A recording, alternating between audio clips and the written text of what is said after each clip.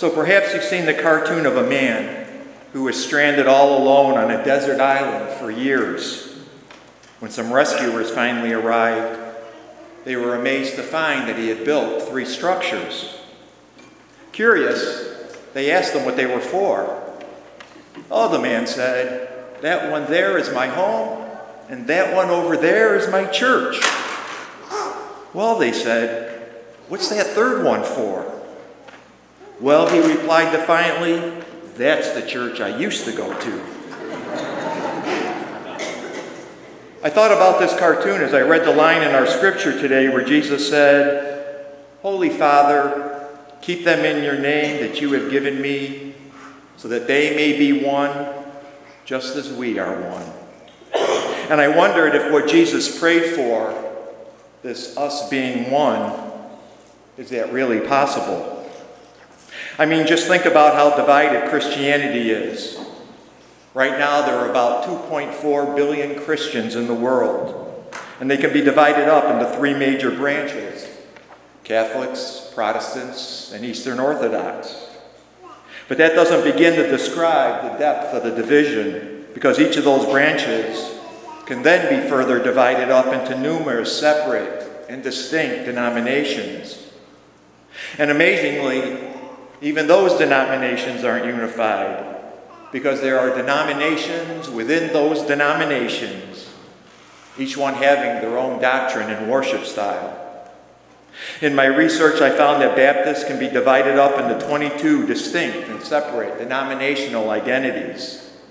The same goes for the Methodist Church, which, which claims over 30 different branches. Add to that the various Episcopal, Lutheran, Pentecostal, Presbyterian, and Evangelical churches and you end up with a staggering 200 Protestant denominations in the U.S. alone and thousands worldwide. It's enough to make your head spin. And in case you think our Catholic Church is immune to this kind of divisiveness, know that there are over 20 denominations in the world that were once Catholic and continue to call themselves Catholic, but who are no longer in full communion with the Pope. So, does all this division break the Sacred Heart of Jesus? Or could he have meant something different when he prayed for his disciples and by extension for all of us to be one? Well, I think something different is going on. Because when you think about it, today's gospel isn't a conversation between Jesus and his disciples. Rather, it's a prayer from Jesus to God his Father. It's a prayer that he's letting his disciples overhear. And the fact that Jesus is praying for his disciples rather than talking to them directly is an important distinction because it means that Jesus isn't leaving them instructions. He's not telling them to be nice to each other, to get along, to eliminate their differences, to agree on a common plan or purpose He doesn't demand uniformity, unanimity, or consensus. Instead, what Jesus is praying for is that they can embody a oneness that he hopes will witness to the sacramental presence of God in our world. A oneness that he hopes will carry on the same type of sacramental presence that Jesus so lovingly gave us throughout his life. But what does that mean? What exactly would it take for these thousands of Christian denominations to be one without being locked into some sort of soul crushing sameness or cookie cutter worship style? And then, what would it take for that oneness to be sacramental? Well, I think a big clue comes from the fact that when Jesus prayed, he just didn't ask that we be one. Instead, he asked that we may be one as they are one. That phrase, just as we are one, is crucial. It's Trinitarian. It's Jesus recognizing that He, God, and the Holy Spirit, as members of the Trinity, are each unique and that they're not exact replicas of each other. But they are in complete harmony because they're one in purpose, spirit, and love. which means that we can also be one when we're one in purpose, spirit, and love. And how do we do that? By recognizing the sacrificial way that God loves us and then returning that love with humbleness and gratitude. It's our love of God and for each other through Jesus Christ that then would unite us as Christians, no matter our denomination, politics, or nationality. This Trinitarian love then becomes the answer to Jesus' prayer because love is always the greatest common denominator.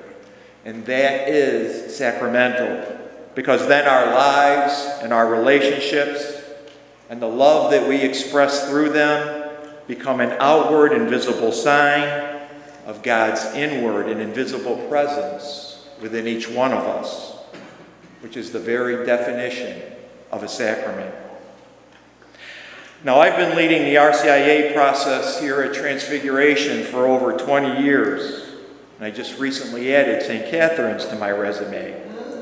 And every year, when people come to our first meeting to explore their interest in converting to the Catholic faith, the first thing I tell them is that I don't care if they become Catholic. And that probably shocks them. Maybe it shocks you too. Until I explain that what I really care about and what I really hope and pray for is that each one of them, through our RCIA process, will grow closer to God. That they'll develop a hunger to want to know, to want to love, to want to serve God better. Because the truth is that Jesus calls each one of us by name, not to establish a relationship with a particular church or denomination, but to establish a loving relationship with Him. And then the important question becomes which church or which denomination or which faith tradition can best help me or someone on this journey of love? Which one will give us the best tools, the clearest teaching, the most vivid experiences to help our heart grow in and express our love for God? Because at its most basic level, that's what any church should be about helping and supporting one another as we make this very sacred journey to God. Which also means, by the way, that we were never meant to go on this journey alone, because God is all about relationships and community. That's what the Trinity teaches us. That's why Jesus picked 12 apostles, not one. That's why Jesus said, Whenever two or three gather in my name, I'll be there among them we all will grow, worship, and love most fully when we're part of a faith community, when we're going to church. And of course, if one of those RCIA candidates decided that another faith tradition or church would best help them do that, I would totally respect that decision. I'd wish them well and more power to them. But I also tell our RCIA candidates that my belief and my bias is that the best spiritual tools can be found through our Catholic faith. That's why I converted. That's why I became a deacon. Because I believe our church, despite her sinfulness and imperfections, provides us with so many profound and beautiful ways to grow closer to God. From her sacred liturgies and prayers to her beautiful music from the power of her sacraments, most especially the Eucharist, to her comforting traditions, rituals, and theology. All of these have helped guide me and bring me closer to God. And after all, our church has been doing this for well over 2,000 years now. I think she's getting pretty good at it. Young people, being one in Jesus' love, doesn't mean that we can't have disagreements. The relationship that I have with my brother is a perfect example. My brother is a conservative, Protestant, evangelical Christian who reads the Bible literally and trusts that it tells him exactly what to believe, even when those beliefs are at odds with modern science. Whereas I am a progressive Catholic who reads the Bible, and particularly the Old Testament, not so much as a history book, but as literature meant to help me better understand how God's love for me and the world should shape my life. Which also means that I don't think science is that in any way at odds with our faith. Because I believe that science is simply another wonderful part of God's creation. But because of our differing beliefs, and because my brother and I love to argue, and because we're both very stubborn, we've had many loud, dragged out, and passionate theological debates about creation, evolution, and science as it relates to the Bible. But even with those intense arguments, at the end of the day, my brother and I still love and respect each other. More importantly, we see each other as brothers in Christ, united in our belief in Jesus as the Son of God and as our Savior. In the most important ways, we are one. It's something, young people, that I wish our world would better recognize and practice, not just religiously, but also socially, culturally, and politically. My brothers and sisters, I believe that this unity that Jesus prays for is a oneness born out of love that is of and from God, which makes total sense because our God is a God of love which means that it's a unity that we can't create or force. It's a unity that we can only participate in through this sacred oneness of God. A oneness that exists at the intersection of our vertical love for God with our horizontal love for each other. And I love that how that vertical love and that horizontal love makes the sign of the cross the very symbol of our Christian identity and a symbol of our oneness.